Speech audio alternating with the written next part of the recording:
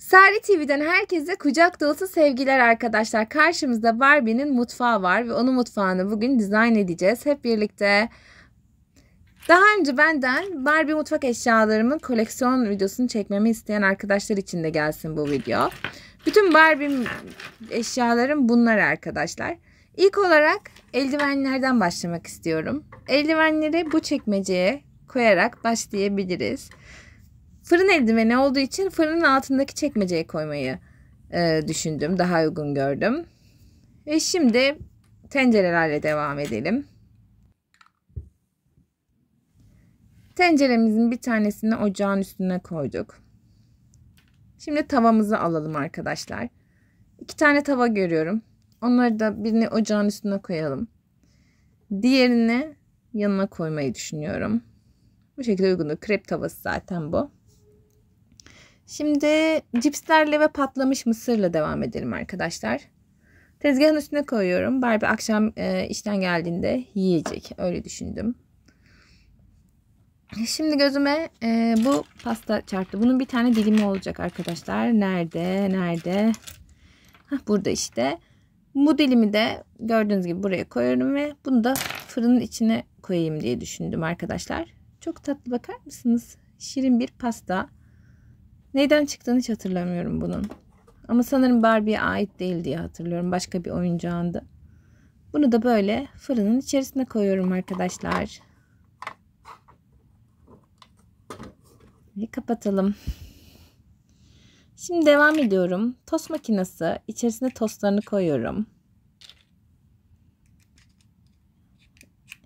Evet ekmek kızartma makinesi daha doğrusu tost değil özür diliyorum yanlış söyledim.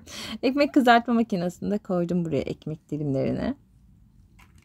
Ve yumurta. Bir sürü yumurta var arkadaşlar. Çoğu setten yumurta çıktığı için çok fazla yumurtamız oldu. O yumurtaların hepsini şimdi birleştirip buzdolabına koymayı düşünüyorum. Ee, buzdolabına başka e, içecekleri koyabiliriz. Sütü koyabiliriz.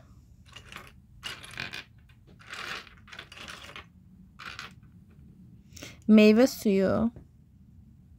Şimdi buzdolabında kapağını açalım arkadaşlar.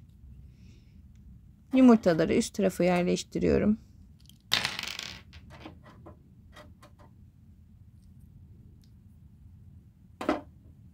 Orada yer kalmayınca devamını alta koydum. Sütü de aşağıya koyuyorum. İçecekleri de koyuyorum. Diğerini de koyuyorum arkadaşlar.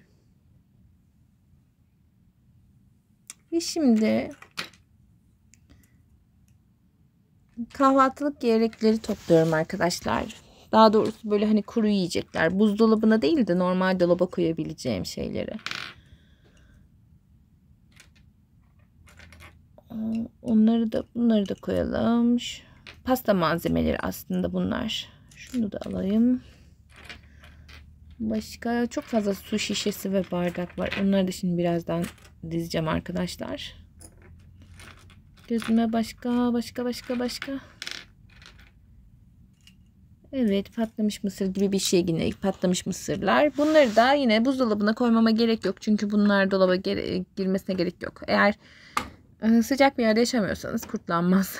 o yüzden buraya koyuyorum. Tabii ki yazın İstanbul'da biz çoğu şeyi buzdolabına koyuyoruz. Çünkü kurtçuklar oluşuyor içerisinde yiyeceklerin. Bunları da buraya koyuyorum arkadaşlar. Mikrodalga fırının üzerindeki göze koyuyorum. Ve bu şekilde bu yiyeceklerimizde bu kadar. Çok dikkatli olmalıyım yoksa hepsi devrilir. Bunu da buraya koyalım. Jelibon şeklinde bir şey arkadaşlar. içecek o da. Onu da oraya koydum arkadaşlar. Meyve suyu olsa gerek. Sosumuzu da buraya koyalım. Şimdi kapatıyorum burayı da. Burası da tamam. Şimdi yanındaki hmm, dolaba geçelim. Bakalım buraya şimdi neler koyacağım. Yine çok dikkatli olmalıyım. Yoksa her şey devrilir arkadaşlar. En korktuğum şey. Onlar diğer göze sığmadı. O yüzden buraya koyma kararı aldım arkadaşlar. O göz biraz ufak kaldı. Bunları da buraya koydum. Çok tatlı oldular.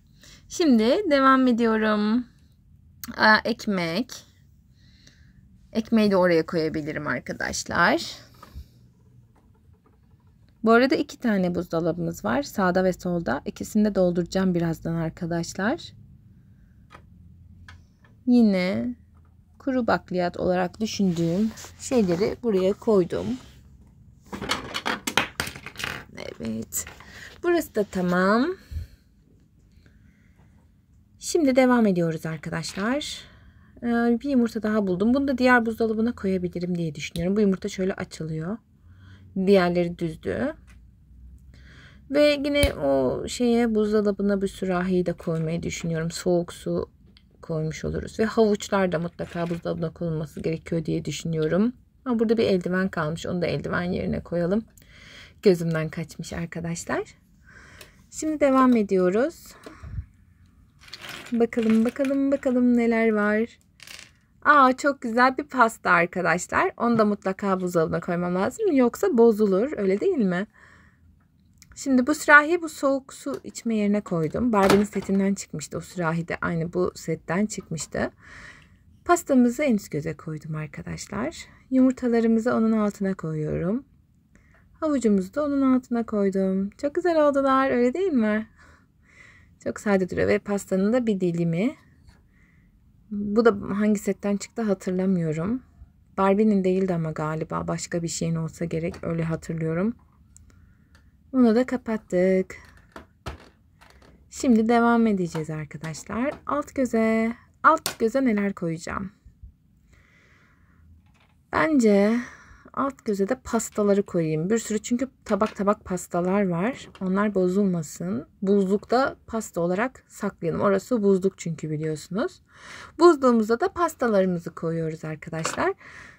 Misafirimiz gelince hazır olarak oradan çıkarmış olacağız. Ve böylelikle daha az yorulacağız. Çünkü misafir gelince ancak elle uğraşabiliyoruz. Öyle değil mi?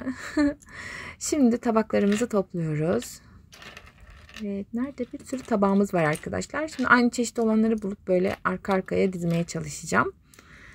Ee, bu tabakları da bulaşık makinesinin içerisine koymayı düşünüyorum şu anlık. Çünkü şu an e, çok fazla eşya olduğu için bulaşık makinesi de boş durmasın. Hem de tabaklar orada durabilir. Yani evcilikte de onu işte e, yıkanmış olarak oradan al, alabiliriz. Ya da işte yedikten sonra geri koyabiliriz işte kirli diye. Öyle düşündüm. Şimdi devam edelim. Kalp şeklinde. Onları da buraya koyuyoruz arkadaşlar. Hepsi bulaşık makinesinin sepetine giriyor ve hepsi oraya sığıyor. Biliyor musunuz birazdan gerçekten burada hiçbir şey kalmayacak. Hepsi yerleşecek arkadaşlar. Çok şaşıracaksınız. Çok fazla eşya var ama hepsinin yeri de var. yani şimdi birazdan göreceksiniz ve çok şaşıracaksınız. Bir sağ tarafta bir tane daha mutfak var. O daha ekrana girmedi. Birazdan orayı da dizeceğim çünkü. Altına da bu küçük tencereyi koyacağım arkadaşlar. Hatta bu büyük tavayı da koyalım. Sos, sos tavasını. Evet buranın da ağzını kapatıyorum. Burası da bitti. Şimdi geriye neler kaldı? Şu küçük göz. Burayı biraz daha böyle bardaklık olarak kullanacağım. Çünkü herkes burayı bardaklık olarak kullanıyor biliyorum. Bu porselen bardaklarımı buraya koymak istiyorum. Bunlar porselen arkadaşlar. Gerçek porselen yani kırılabilir. Yanına da küçük kahve fincanlarını koyacağım. Ee, çok şirin oldu. Burası böyle süslü püslü bir yer gibi olsun. Hani öyle oluyor ya. Burayı da fazla doldurmak istemiyorum o yüzden. Bu kadarlık yeter. Şimdi gelelim. Ee, tabii ki burası da boş kalmasın. Buraya da e, bu ya, patlamış mısır gibi olan şeyi koyacağım. Mikrodalgada patlamış mısır patlatalım. Ee, hatta yanına da pasta koyalım. Onu da ısıtırız. Bu sayede ikisi aynı anda olur. Öyle düşündüm arkadaşlar. Burayı da kapatabiliriz. Şimdi çok dikkatli bir şekilde devam ediyorum. Azaldı değil mi bayağı? Şimdi e, bu bardakları topluyorum arkadaşlar. Aynı renk bardakları topluyorum topluyorum. Bir sürü var. Ee, işte bulmak mesele şu an. Bunlar böyle şey kadeh bardağı gibi. Ee, Şimdi bu özel bardakları daha görünen bir yere koyacağım arkadaşlar. Ve de vazgeçtim. Bu üst tarafı boş kaldı. Buraya koymaya düşünüyorum. böyle koyalım. Kırılmasın. Çoluk çocuk çünkü ortada Barbie'nin biliyorsunuz. Benim bütün mutfak malzemelerim bu kadar arkadaşlar. Daha fazla olduğunu sanmıyorum. Hepsi burada çünkü. Hepsini bir yere toplamıştım. Varsa da bir tek tük böyle bir şey çıkar. Sadece çok fazla su şişesi var. Şimdi birazdan göreceksiniz. Onların hepsini bir yere alacağım, koyacağım su şişelerinin. Çünkü her setten su şişesi çıkıyor. O yüzden su şişem çok fazla oldu. Şimdi sürahilerim arkadaşlar. Onları aynı yere koyacağım. İşte termos, sürahi falan öyle şeyleri. Tencereyi de alalım bence. Bunları çünkü üst tarafa koyacağım ya biraz daha böyle hani az kullanılan eşyaları bu üst tarafa koyayım dedim. Genelde öyle yaparız yani kendi evimizde de az kullandığımız eşyaları üst tarafa koyarız zaten. Bunu da bu şekilde buraya koyuyorum. Barbie görünce çok heyecanlanacak çünkü gerçekten burası çok karışıktı ve ne yapacağını bilemiyordu. Ona çok yardımım oluyor. Evet arkadaşlar şimdi buzdolabının bu diğer tarafı kalmıştı. Buraya da devam edelim bence. Bu pastayı alıyorum ve bu bir sürü şey var. Şöyle e, sandviçlerimiz var. Bunları da oraya koyacağım arkadaşlar. Çünkü sandviçler dışarıda bozulur biliyorsunuz. Direkt gelen alsın sandviçini buzdolabından yesin. Okuldan gelen, işten gelen. E, yumurta kalmış şimdi bir tane daha onu da alalım. İçecek.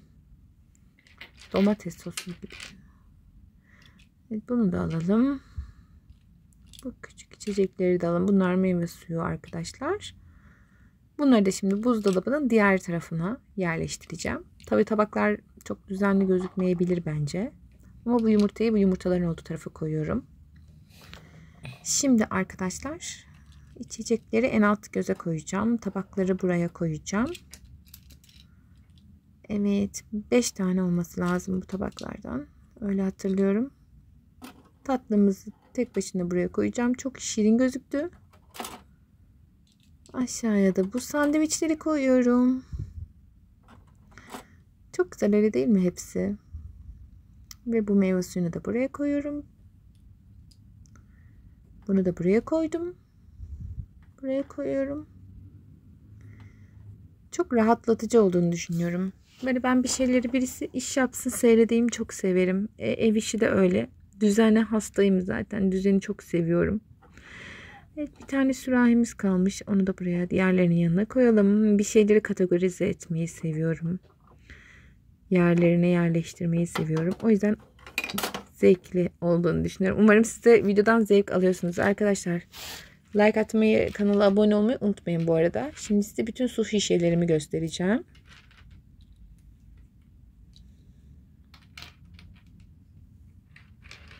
Evet bir sürü su şişem var gördüğünüz gibi. Birkaçı gerçekten orijinal baya yani hani hepsi orijinal Barbie'nin de birkaçının üzerinde gerçek su şişesi gibi böyle yazılar var görüyorsunuzdur.